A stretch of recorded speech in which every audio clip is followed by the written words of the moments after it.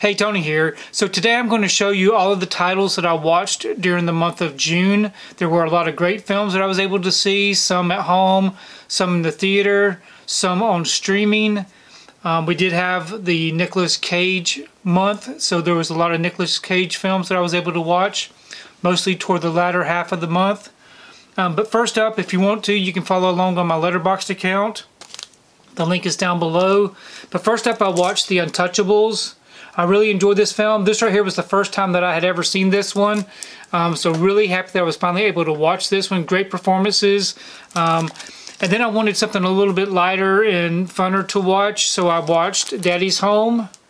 Really enjoyed this one, um, especially Will Ferrell's performance. He was really funny. Same way with Daddy's Home 2. I really enjoyed that one. And then I did get the Arrow release for Wild Things, so I had never seen this one before, so I took time to watch this one. Really enjoyed it. I thought it was a great um, thriller, um, so enjoyed that one. And then just to kind of kick off the Nicolas Cage month, I watched Color Out of Space, which I didn't like. I mean, it was visually appealing, but the story was kind of weird. Um, I don't know, maybe it needs another watch, but it wasn't my favorite. Then I watched The Rental.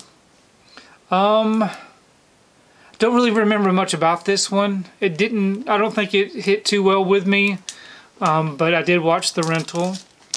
And then um, I watched Grease 2. I had never seen Grease 2. Well, I had seen Grease 2 before, but it's been a very long time. And I did pick up the steelbook, so I decided to watch it. And wasn't really a big fan of it at all. I, I really enjoyed the, the original Grease, but Grease 2 was not my favorite. Um, and then I watched The Green Knight for the first time. Um, I don't know why I kept on putting this one off, but I did. I think most people said that you would either love it or hate it. I really enjoyed it. I thought it was really good. Um, I definitely will watch this one again. The next one I watched was The Feast. Um, I guess it's, I'm not sure exactly why I watched this one if somebody recommended it to me or not. Maybe. But it was okay. It, it, it was okay. It was kind of weird. Um, but I watched The Feast. So the next film I watched was Jurassic World Dominion. Me and my wife were able to go to the um, theater to see this one. We really enjoyed it. I know a lot of people either loved it or hated it, but we loved it. We thought it was really fun. And so very happy that we were able to see that one. Okay, the next film me and my wife watched was on streaming. We watched Hustle with Adam Sandler. We really enjoyed it. Great story, something different. Um, I thought it was really good, so very happy to have that. Um, watched, and I hope we are able to get that one on physical media someday. Okay, the next film I watched was Two for the Money. Somebody had recommended that I check this one out. Um, it was okay. I didn't I didn't thoroughly enjoy it. It wasn't bad, but it wasn't my favorite. Okay, the next film I watched was a recommendation. Um, I watched The Kid Who Would Be King. Um, I had this one in the collection, but I had never really opened it up or checked it out. But somebody recommended that I check this out. I really enjoyed it. It's a fun movie. Um, if you've never seen it, I would recommend you check that one out. Then, of course, we um, I finally watched Morbius. I did not get to see this one in the theater. Um, but I did get the 4K release and opened it up and watched it. It was okay. It was not great. Um, I liked the visual effects of it, but the storyline was very lacking. Okay, now the next titles that I'm going to get into are mostly all the Nicolas Cage films that I watched. Some of some of these are re-watches that I've seen before, and some of these right here will be first-time watches, so I'll let you know what is what.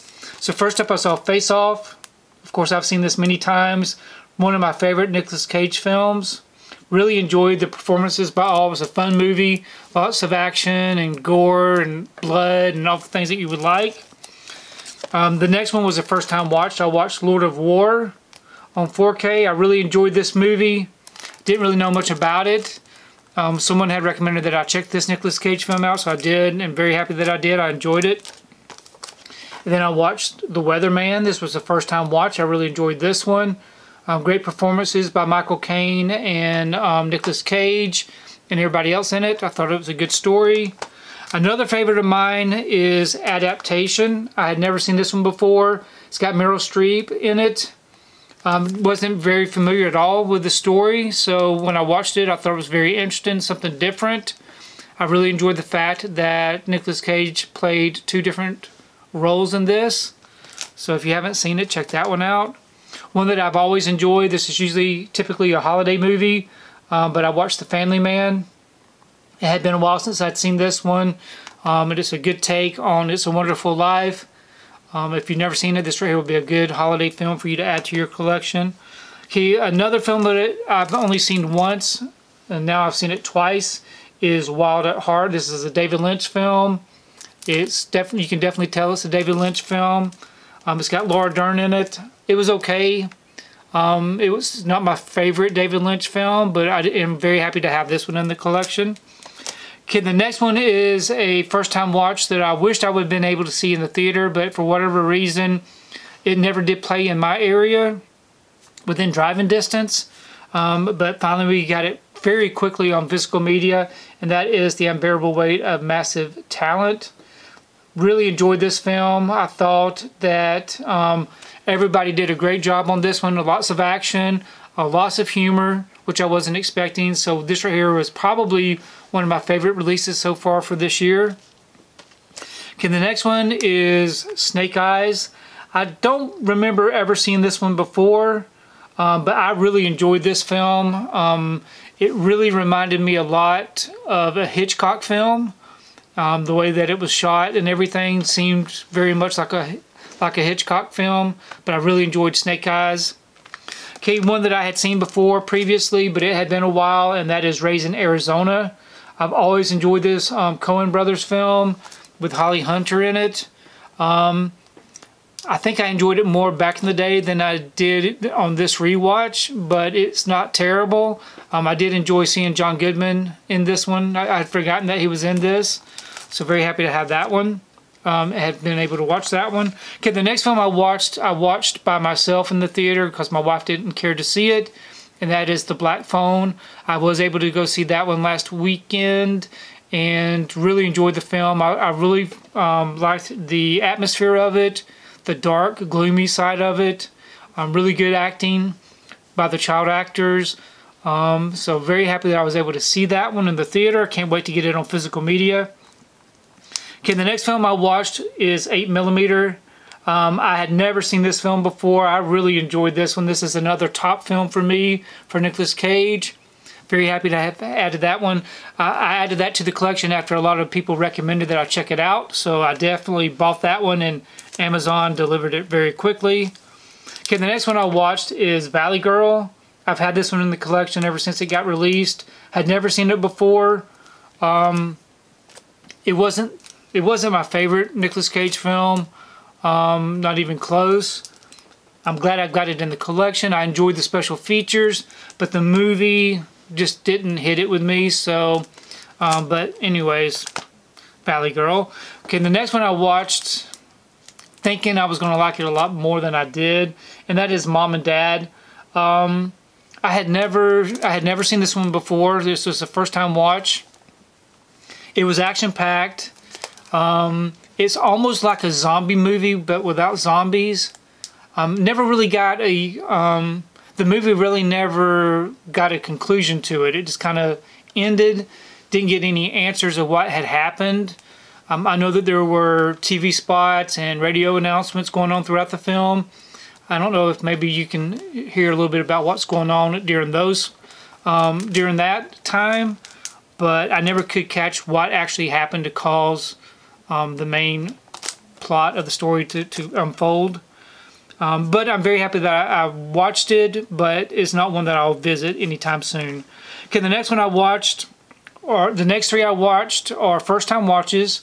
Um, definitely they were recommendations after I put out the my top 10 Nicolas Cage films that I've seen I put out a video asking any other recommendations that were not listed and so I ordered these off of Amazon and they came in quickly so these were my final three days of watches. I watched Honeymoon in Vegas which I really enjoyed. Um, I thought James Caan and Sarah Jessica Parker did a really good job as far as their parts in this film. Um, I guess I wasn't really sure exactly what this film was about. I always get this one and Leaving Las Vegas confused. So I didn't realize how much of a romantic comedy type film this was, but I did enjoy it. So happy that I added that one to the collection. Then I watched The Rock for the first time. I had never seen this one. Everybody was going crazy that I had never seen it before, so I bought it. I watched it. I loved it. It is one of my top Nicolas Cage films now. And then right underneath this one would be this one, Con Air. I watched this last night. Um, really enjoyed it. I thought this was action-packed.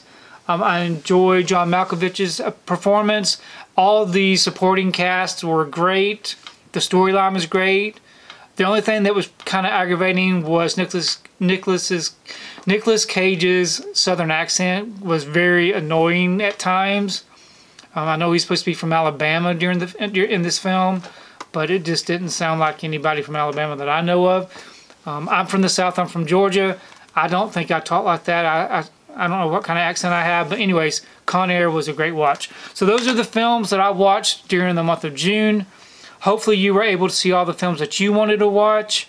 Please leave me a comment below. Let me know if you've seen any of these maybe some of the films that you had watched during the month of June. I really do enjoy reading your comments. If you like what you saw here today, please give it a thumbs up and share the video. If you haven't subscribed to my channel, I would really appreciate it if you would subscribe. If you do subscribe, please remember to hit that notification bell so that you can be notified every time I upload a new video. Um, if you want to see what I've been watching, follow along with me on my Letterboxd account. I do have the links below, so definitely check those out. And we will see you next time.